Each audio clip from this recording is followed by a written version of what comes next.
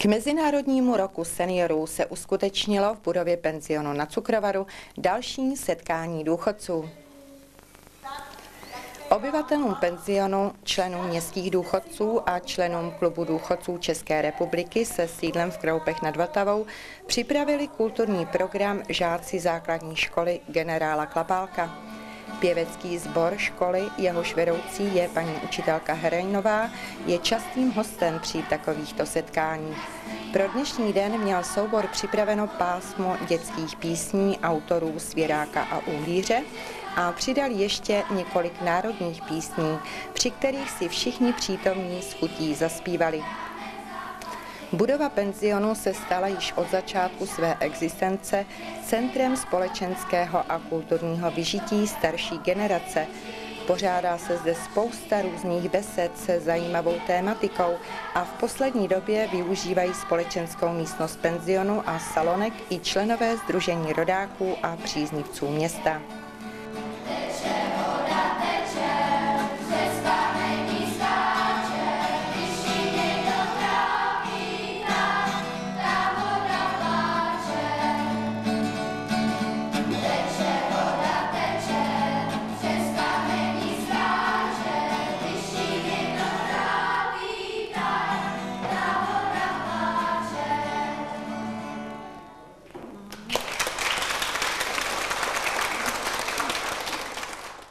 Při dnešním setkání důchodců shlédli přítomní i dramatizaci pohádky o Palečkovi. Tu zahráli děti ze školní družiny základní školy generála Klapálka pod vedením paní učitelky Kuželové. Pohádka měla velký úspěch a děti byly odměněny potleskem, stejně tak jako žáci pěveckého sboru.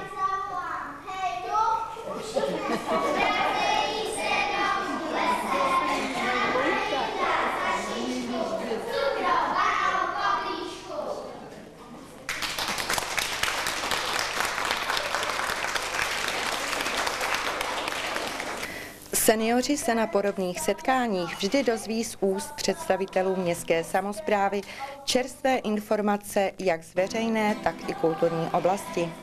Další společenskou akci pro seniory pořádá město ve spolupráci se společenským střediskem kulturním domě se uskuteční 11. listopadu v 16.30 pořád k Mezinárodnímu roku seniorů, kde bude několik aktivních občanů z řad starší generace veřejně oceněno.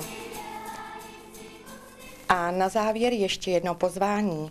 Ve společenské místnosti penzionu se uskuteční 18. listopadu od 13 hodin beseda s doktorkou Marí Rackovou na téma Čeština jako předmět zkoumání a péče o jazykovou praxi.